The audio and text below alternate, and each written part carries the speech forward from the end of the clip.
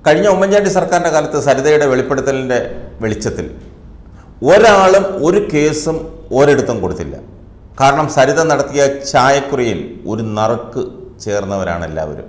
പരാതി കൊടുത്ത് അന്വേഷണം വന്നാൽ കൊടുങ്ങുമെന്ന് അവർക്കെല്ലാം ഉറപ്പായിരുന്നു. എന്നാൽ സ്വപ്നം നടത്തിയ ജൽപ്പനങ്ങൾക്കെതിരെ കെ ടി ജലീൽ പോലീസിൽ പരാതി നൽകി. പോലീസ് എഫ്ഐആർ ഇട്ട് അന്വേഷണവും തുടങ്ങി. കാരണം ആരുടെ കുറിയിലും ഒരു നറുക്കും എൽ ഡി എഫുകാരോ സി പി എമ്മോ ചേർന്നിട്ടില്ല. ഏത് സംസ്ഥാന സർക്കാർ ഏജൻസികളെ അന്വേഷിച്ചാലും ഒരു ചുക്കും കണ്ടെത്താൻ കഴിയില്ല എന്ന് നൂറ്റിയൊന്ന് ശതമാനം ഉറപ്പാണെന്നും അവനവനെ വിശ്വാസമുള്ളവർക്ക് ആരെ പേടിക്കാനെന്നുമാണ് കെ ടി ജലീൽ ചോദിക്കുന്നത്. സംഘികൾക്ക് കപ്പം കൊടുത്ത് ജീവിക്കേണ്ട ഗതികേടില്ലെന്നാണ് സ്വപ്നയുടെ പുതിയ വെളിപ്പെടുത്തലിൽ കെ ടി ജലീലിന്റെ മറുപടി. സൂര്യൻ കിഴക്ക് ഉദിക്കുന്നിടത്തോളം എനിക്കെന്തിനാണ് ടെൻഷൻ എന്നാണ് കെ ടി ജലീൽ ഫേസ്ബുക്കിൽ കുറിച്ചത്.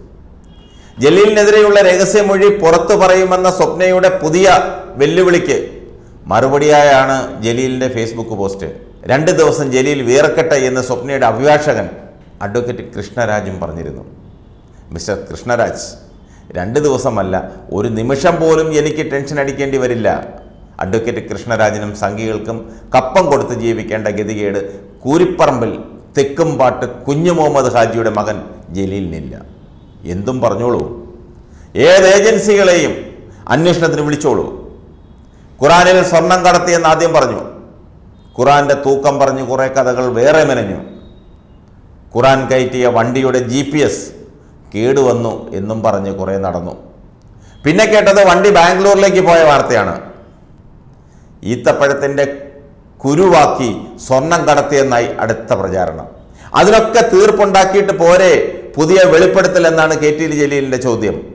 മിസ്റ്റർ കൃഷ്ണരാജ് ഇലക്ട്രോണിക് യുഗമാണിത്. തെറ്റ് ചെയ്യാത്തവർക്ക് ലെവലേശം ഭയപ്പാടിന്റെ കാര്യമില്ല.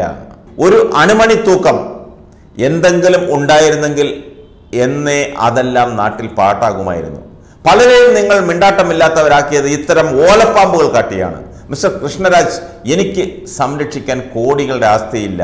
എന്റെ കയ്യിൽ നികുതി കൊടുക്കാത്ത ഒരു രൂപയുടെ സമ്പാദ്യവുമില്ല. കണക്കിൽപ്പെടാത്ത ഒരു നയ പൈസ ഞാൻ എവിടെയും നിക്ഷേപിച്ചിട്ടില്ല. പിന്നെ ഞാൻ എന്തിന് ടെൻഷൻ അടിക്കണം?